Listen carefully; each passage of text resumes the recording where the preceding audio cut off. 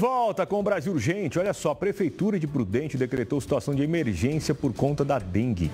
A medida foi publicada hoje no Diário Oficial. A gente conversa com a Laís Araújo, que tem as informações, né? Saiu a decisão hoje, a cidade enfrenta uma situação delicada, não é igual do ano passado, mas já é uma situação aí que acende o sinal de alerta. Boa tarde, Laís.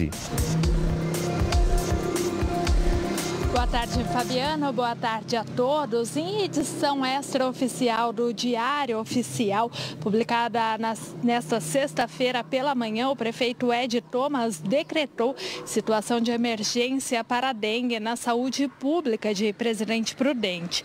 A medida foi adotada para a execução de ações necessárias ao combate da proliferação do mosquito transmissor da dengue e ao atendimento dos infectados pelo vírus vírus, em razão do eminente perigo de epidemia da doença. Com esse decreto, o Poder Executivo fica autorizado a determinar e executar as medidas necessárias ao controle da doença e do mosquito transmissor.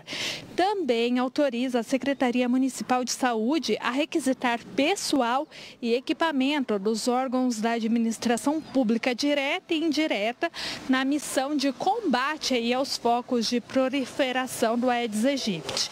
De forma excepcional, o decreto permite também a contratação temporária de pessoal, com base aí na Lei Complementar Municipal número 192 de 2013 claro que devidamente justificada e visando atender especificamente os objetivos da norma, ou ainda o pagamento de horas extras aos servidores envolvidos.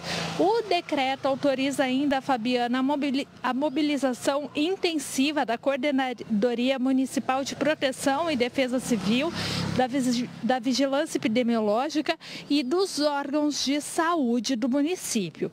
De acordo com os dados do país, painel de monitoramento da dengue, criado pelo governo do estado de São Paulo, Presidente Prudente já registrou em 2024, até o momento, um total de 33 casos confirmados da doença, mas possui outros 1.110 em investigação. Fabiano.